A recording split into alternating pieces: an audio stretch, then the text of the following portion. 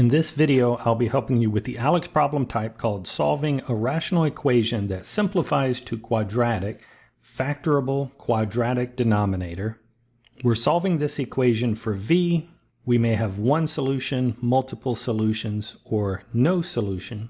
So once I have potential solutions, I'll need to come back and check to make sure that I don't end up with a solution that gives me a zero denominator. And to solve, I want to first rewrite this, but as I'm rewriting, I want to factor these denominators as much as possible. And this denominator is the difference of two squares. So I'm going to go ahead and factor that as a v plus 3 times v minus 3. The rest of the denominators are already as factored as possible. And from here, now that everything is factored in the denominator, I can identify the lowest common denominator.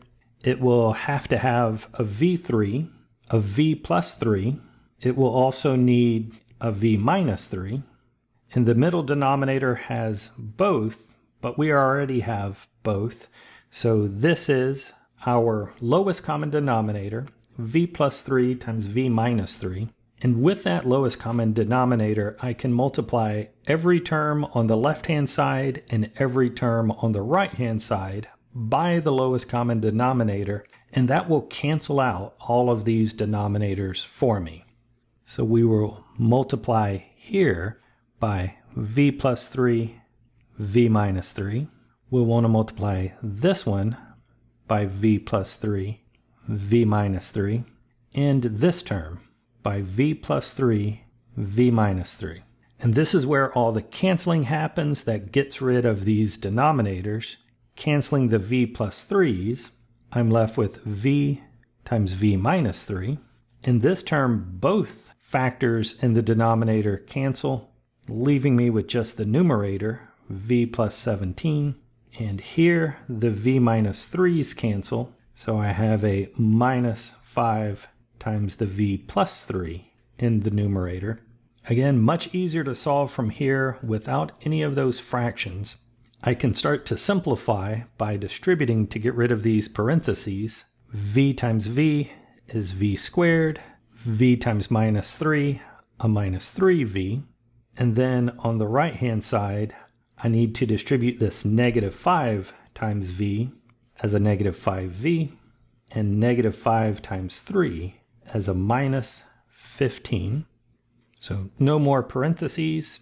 I have some like terms I can combine on the right hand side.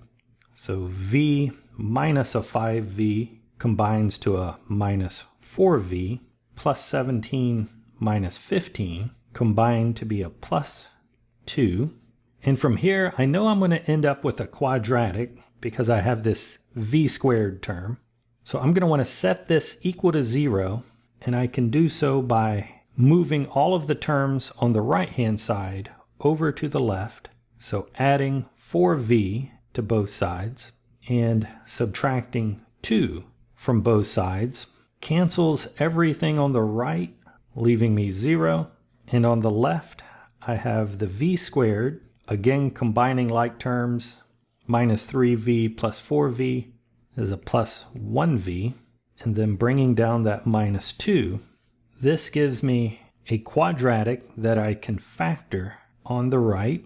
The only possibility for v squared is v and v. The only possibility for a 2 is 1 and 2. To multiply to get a negative 2, they would have to be different signs. And since I want a positive 1, I'll make that a positive 2 and a negative 1. And now that we factored, these two multiply to be zero, meaning that either the first is equal to zero or the second is equal to zero. Solving each for v, I have v equals 1, or solving for v in the second, v equals a negative 2. So two potential solutions, v can be 1 or negative 2. This is where we should look back at our original to make sure that plugging those values in do not give us a zero in the denominator. And neither a 1 nor a negative 2 gives us a 0 here. So both of these are solutions. Writing them separated by a comma, our solutions are 1 and negative 2.